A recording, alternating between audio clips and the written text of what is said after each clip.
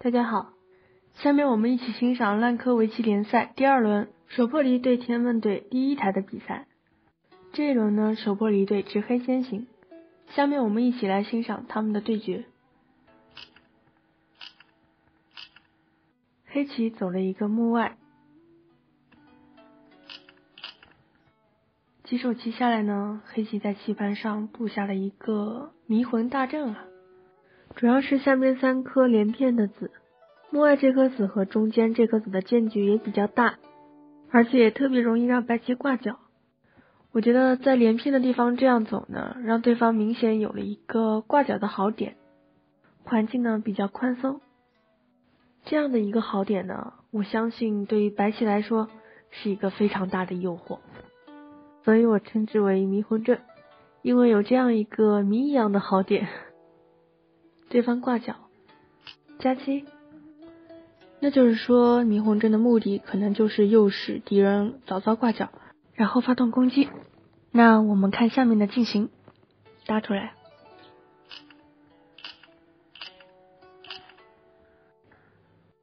白棋挡住角生根，也是非常重要的一手棋。迷魂阵的威力暂时还没有显现出来，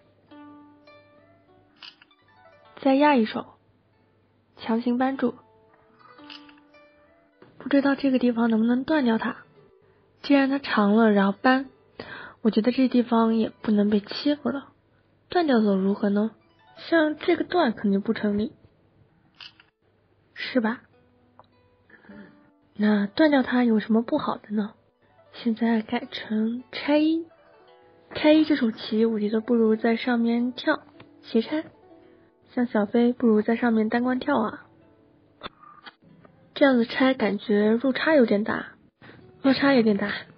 这个从五线俯冲到三线，棋形上也是感觉到这个单关跳守一守，棋形上也感觉到饱满，结构上也比较合理。这个段可以这样打，也可以这样打，都可以吃掉它。如果不想让对方的脚立下来是先手呢，就这样打；如果不想让对方在外围有什么介入，就这样打。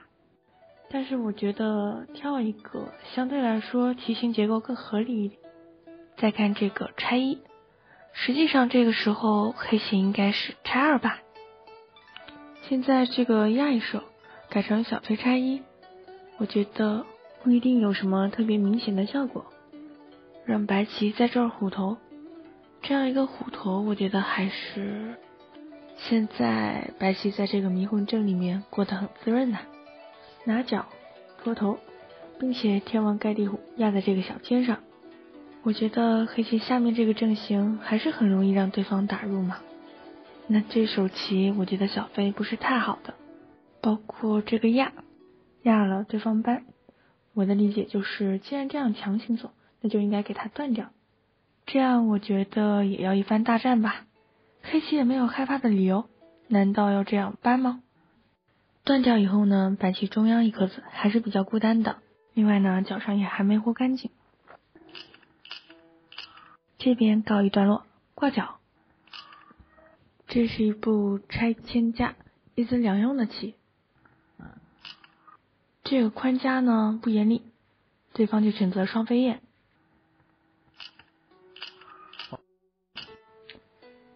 这个地方感觉。白棋这个宽家主要是照顾下方，从下面如果说黑棋飞走成这样，这个结构还是比较理想的。但是黑棋不一定按照白棋的意图走。但是从照顾的角度上来讲呢，现在上面这颗子还是孤零零的，我觉得更应该去守角，因为在这一带基本上都是黑棋的势力范围了。至于我们这颗子还是比较孤单的。如果说这边是白棋，我觉得还是可以走在这儿的。右上角是白棋，那还可以，但现在是黑棋，所以说这颗子呢，四面楚歌，还是应该更多的照顾这颗弱子啊，守个角，守一步角，如果对方飞了，我们要是想加，还是可以加的，因为守一步角可以限制黑棋在整个右上一带的发展，因为黑棋在这一段有可能形成模样嘛，所以说限制黑方的发展也是一种步调吧。像这个单关跳，我觉得还是很放心的，因为黑棋这块迷魂阵呢也不太强。实战当中加双飞，虎一手，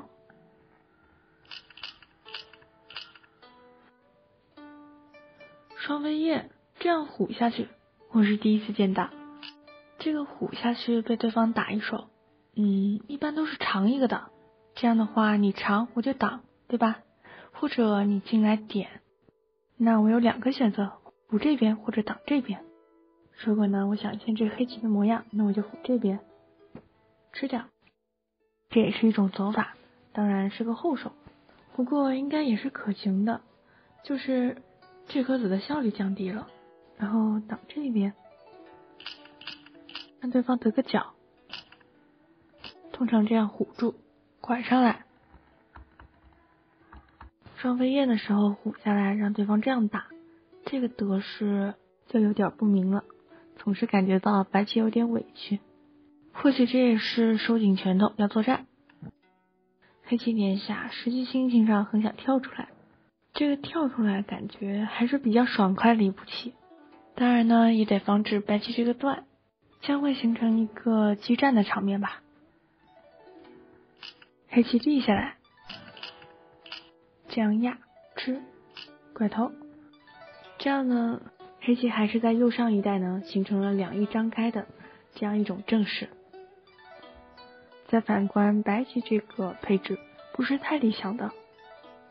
尖，尖一手，尖一手有一定的价值，但是我觉得这个黑棋拐住以后，黑棋上方的阵型眼看就要成型了。我觉得当务之急还是应该到这边挂角，挂角从宽的地方挂呢，应该是从这边挂。但是呢，这边的黑棋头型比较高，而且棋形也很坚实。那这边的话，黑棋如果走一步，这边就成型了。所以在对方将要成型的时候，应该及时去打入。而左边这一带呢，黑棋形不成特别好的配合。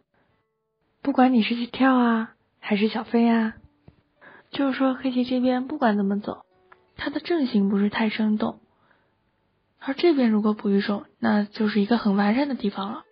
所以说，在敌人将要成型的时候，我觉得应该去打入。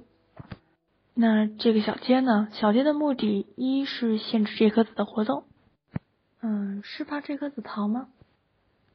因为从棋上来讲，黑棋这块地方比白棋这块地方要广阔多了，限制它可能没有这边的打入更重要哦。挂角是一个大场呢，这个大场呢，本身也是破坏对方连片的绝好点。而这个尖呢，是怕对方这颗子逃窜吗？加吃，打了然后再打，这样是逃不掉的，对吧？这个是牛羊头，在前面这个虎头虎视眈眈，一口就能把它吞下，还是很厉害的。既然这个棋筋逃不掉，而白棋这个角呢又是虚的，有风。所以这地方我觉得应该不大，是吧？应该不大呀。像这个地方，我觉得只要棋星不出问题就可以了。那尖一手，黑棋把上面守一守；小尖手，小尖手也是手，和跳手啊什么的也没有大的差别。然后白棋在这儿跳一手，白棋这手跳比较朦胧啊，意图不是太明显。像这个虎头已经很强了。如果想在这带走的话呢，我觉得可以走在这儿，而对方呢也拿你没招，没啥好办法。跳了以后，让对方去补一手。那白棋的想法可能就是我让你围，等你快围起来的时候，我再去打入。但这种战刃应该用在上面这块儿才对，把这个小尖改过来，觉得比较好。现在补过来，拆，嗯，这样。这块白棋处理的还挺好的哈，底下这边也被你打了一下，然后这个拆一也不漂亮，那这块棋迅速出去啊，白棋处理的应该还不错。那对于这块我这边是小尖，他这样走我是不是可以尖顶啊？盖下来，因为你是小尖就比较结实嘛，是吧？我觉得没什么不好的，嗯，这棋好像要做活。还是坚守比较好。坚守如果我向外长也没什么好处。这个难道是飞起来？还是要被攻击的？这样挡下来，这边小千这颗子就显得稍微差了一点。白棋这样很轻松的就能处理出去。嗯，虎出去，我的感觉应该是在这带飞出去，或者从这带飞出来。像现在应该向高峰发展，是吧？这个地方如果在原地做活没什么意思，因为你在这带走啊，可能还会限制黑棋上方模样的发展。这样虎一手，黑棋点了，黑棋呢就是通过这几步棋，把上面的正形呢也稳固了下来。这边啊已经是彻底不好打入了，只能是去点消。不过也形成了一个后手，白棋也算达到目标。先手一步棋，这跳下来一步棋也很大，霓虹阵也越来越危险了。这一次黑棋不闻不问，黑棋不管了，继续出动。这手尖了以后，他还要出动，虎打，黑棋把这个角给掏了。不过这个角本来就是漏分的，但是毕竟掏了，那黑棋这样掏。如果白棋当时这样挡上呢？像这个肯定是逃不掉的，棋筋还是稳如泰山。但这个时候虎，我觉得不如挡上，不能让他轻松活棋。既然有来犯之敌，没有让他轻松的道理啊，是吧？然后猛烈的攻击，这才是正道啊，是吧？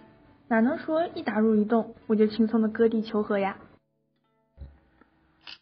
这边得到一个先手也是不错的，打入，然后在这边，嗯，迷魂阵虽然迷魂，但是很 很容易在里面去活棋。然后黑棋在靠，黑棋感觉有点像洗衣机啊，这盘棋是先王后洗，这上面老了这么大一块空，下面来洗白的，这边角洗了，再洗边。这是想让白棋倾家荡产的节奏啊！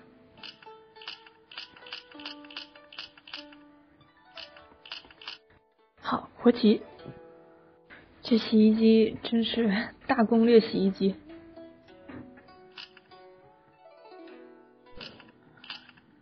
每次黑棋打入，白棋就这样轻易的让对方活棋了。有没有更强的走法呢？觉得这地方搬也行。如果是我的话呢，我一定会挡上，不能让他轻松活棋啊。这不行吧？这个打，或者这样打，不管怎么走就先接住吧。这棋没什么好行，还是觉得应该虎度拿角，一定不能让对方轻松活棋。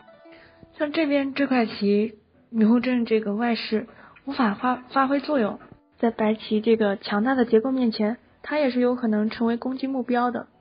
我觉得这块棋最好是缠揪住它，不让它活，然后再看黑棋的处理，或者说碰一个，我觉得单长，嗯，大概是先冲吧，单长还是有点晚，搬，总是让对方这样轻松活了，我觉得不太好。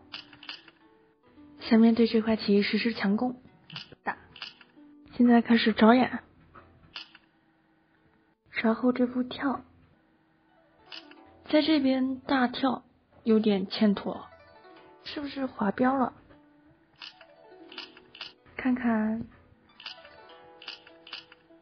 我这个大跳就送进去了，不但送进去了，而且还把这块黑棋关进来了。这个大跳可能是滑标了，没取得预期的效果，然后这块黑棋也没有活棋。面临着打劫活，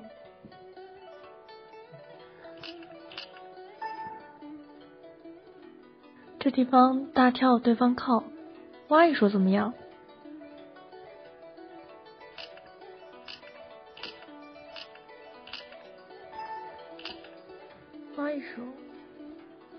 到这里黑棋也没活，黑棋走走走一眼，这边打。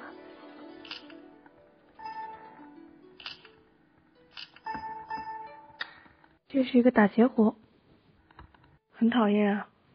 挖一手好像也不是太好，这步棋还是跳跃了，可能加一个比较好。想加一手白棋打是不行，嗯，打了不行，这个对方出来或者直接接住，那么不打搬肯定也不行，那长吗？长了黑棋就跟着进来，这个中府就会受到限制，所以我觉得这边还是靠一个比较好。打劫，这么一条大龙现在打劫当然是很痛苦。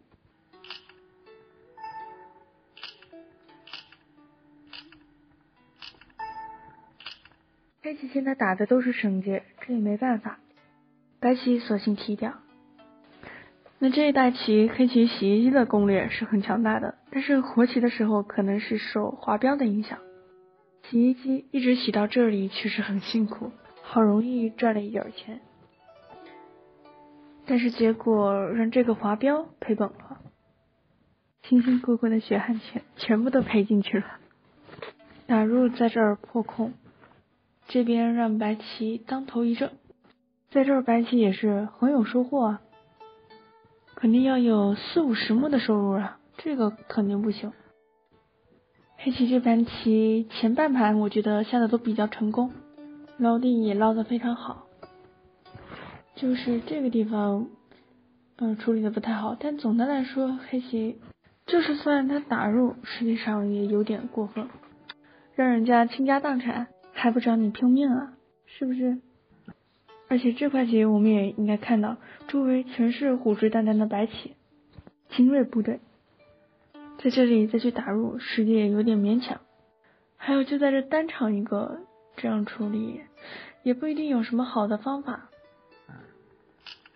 那我要跟定你，你要逃跑还要花好长一段时间呢，那这时候再进攻就不好玩了。总之，在这块白棋应该去缠绕、去攻击。嗯，当然我也是随便摆摆，不能让对方就直接这样活了。然后再单独攻这块棋，还是有点难度的。单独攻一块孤棋，一般来说对方是不怕的。但是这步棋感觉就不太好，感觉应该这样，像这边搬也搬不住，在这块白棋应该还是比较头疼的。虽然长一手，但也可以挡住的。但是这个可能还能搬，断了我就打打长，对吧？这个还能扳住，还能扳住的话，这也比较难走。如果接住的话，补住的话，黑棋只要补住，想杀棋比较困难。或者说我走到这边直接收兵了。你退了，我收兵，我在这边做活，在这边在这虎住做活。总之，这步棋大概就是黑棋赔进血汗钱的一个一步棋吧。嗯，到这里呢，黑棋前面的优势就在这一步棋当中定格了，洗了半天衣服，全赔进去了。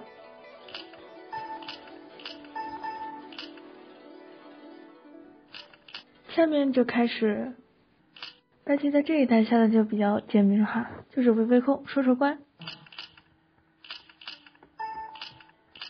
也不打不闹了，该活的活，该补的补，这样呢，这盘棋就基本上差不多了。这边立下来，断，在这儿打个小结，先手去做活。到这边都是小关子，咱们就不讲了哈。总的来说，黑棋这盘棋还是非常可惜的。前面摆的迷魂阵呢，也没见到什么收获。这边迷魂阵没啥收获啊，是吧？但是在这一带双飞燕以后，我觉得黑棋的收获还是蛮大的。白棋在这边是补了又补，这个真是。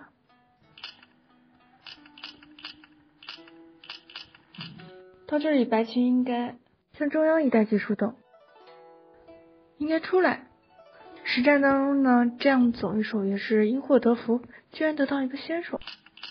在这个地方呢，白棋也是一个进攻的机会，黑棋几次强行破空，我看居然都还挺成功的。为这个棋，我看白棋在这耗费了太多的精力了。这棋应该贯彻攻击，不能让对方轻松活棋，对吧？这个让对方转身。当然，白棋这边也是有战略的，总是拿到先手。先手虽然拿到了，但时空还是有一些损失。时空现在不多了，像黑棋的时空还是比较多的。像这一代黑棋是不是就该考虑去消一消？比方说在这边正一正啊，或者在别的什么地方去消他一下，反正也还可以吧。黑棋这样下也比较从容吧。这个靠就比较比较强势，到这里呢也算是有惊无险。那这盘棋就陪大家欣赏到这里，谢谢大家。